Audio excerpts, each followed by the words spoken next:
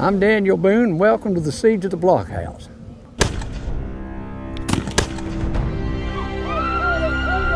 Some of you men take a position in the blockhouse and fire through the windows. You'd have a high point of view up there.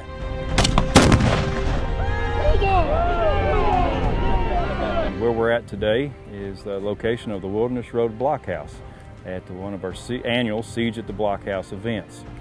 Uh, this event uh, portrays life in 1775 and what the settlers in this that traveled through this area in the late 1700s would have experienced.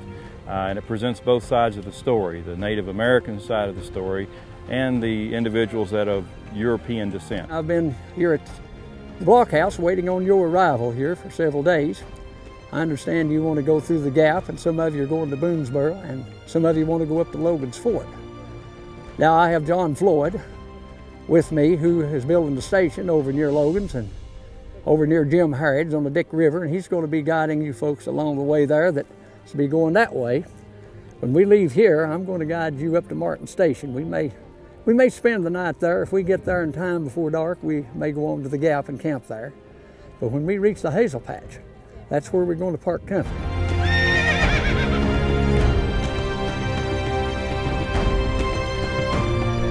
Um, it appears that today we have two of our riders that have gotten into an argument on the way over here as to who has the fastest horse. And uh, and so they're going to race here in just a few minutes just to see who has the fastest horse.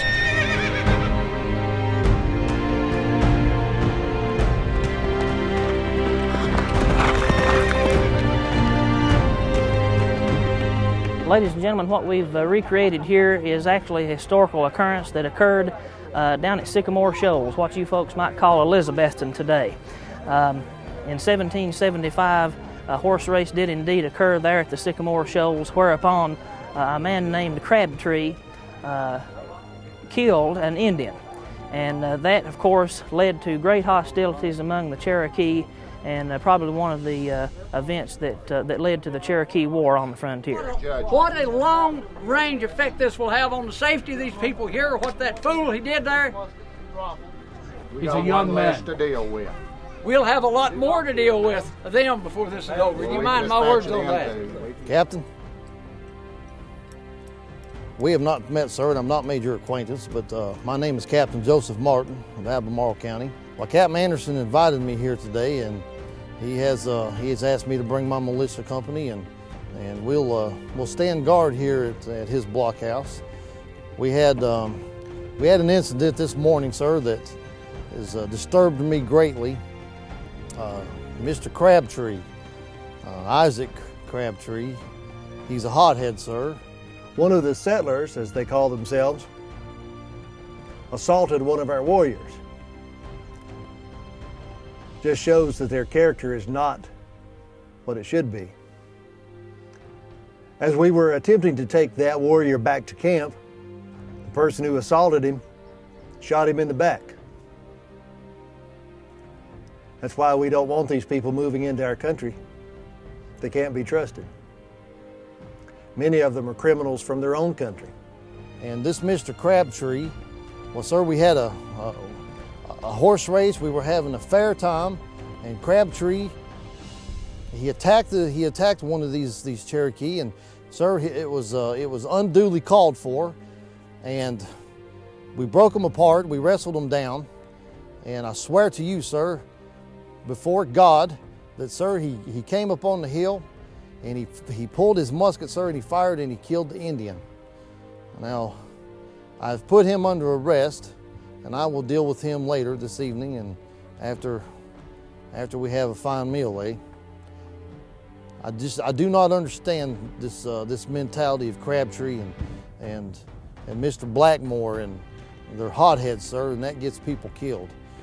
Uh, Captain Boone, I'm sure that that uh, that the Cherokee have sent runners, and they're probably bringing more in as we speak right now, Captain. Uh, this Crabtree, he has uh, he's caused quite a ruckus for us, sir, and and he's uh, I fear he's uh, will will cost lives before this evening is over. Lads, keep your eyes open. Who set the children out? Who set the children out? That's what I'm trying to figure out, sir. Whose children are they, sir? Look, Harry! Run! The children run!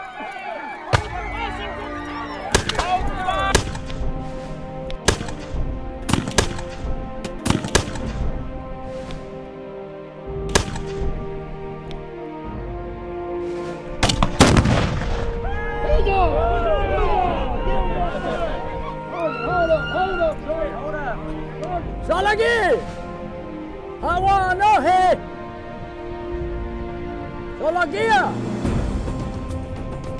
Later in the day, we managed to capture a young lady, bring her to our camp, and adopt her into the Cherokee people, into our clan. The purpose of that is to replace the person who was killed this morning. In Cherokee society, balance is the key. When someone in a clan is killed or captured, someone needs to be captured or killed in place of that person. Later, as the Unega, the whites wanted to exchange prisoners because they'd captured one of our women, we agreed to discuss the matter with them, encourage them to go back to their home country, leave us at peace. Then we agree to the exchange. Osiyo Hakanastota. You have one of our women. We have one of yours, your people. She will not be harmed. You have my word on that, as I believe by knowing your honor that our woman will not be harmed. But we're here to see if we can exchange one of your people for one of our people. And lay your muskets and rifle on the ground. Everyone! Although we disagree on many things, including living here and living on your land.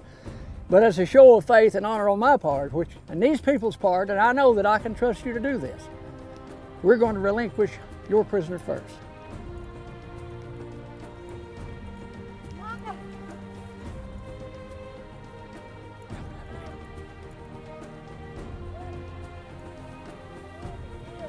Mother, they treat me well over here. No. They were pretty surprised to find that the young lady we had captured decided to stay with us. Decided of her own free will. Because among our people, women are treated much better. Women have the opportunity to own land, and own houses, cornfields, the opportunity to speak in council, to decide matters of life and death.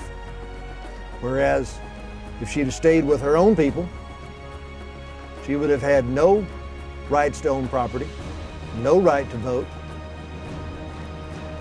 So she decided to stay with us.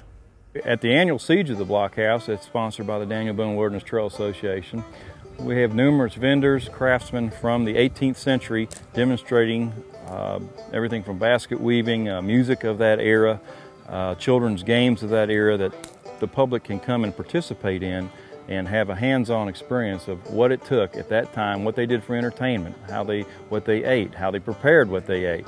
Uh, medicine in that time was obviously very primitive, and, and some of the herbs and the natural things they used to, uh, for their medicine and for their doctoring. So those things are on display during the siege. It's important that we tell this story. It's a very real part of our heritage. And there, there are two sides to it. There are two pieces of it. There were two great cultures that collided here in the mid uh, 1770s. In addition to the conflict that was taking place for American uh, independence from England, there was also a conflict between the Indian culture and the white culture. And I feel it is very important this day and age that, that we know where we came from as a, as a nation and as a people. Um, and living history will, it's very unique. It is the opportunity to interpret history as it was. It gives people the opportunity to not only understand history, which is what interpretation is. Interpretation is an attempt to create understanding, but it, it gives them the opportunity to touch, smell, and taste history.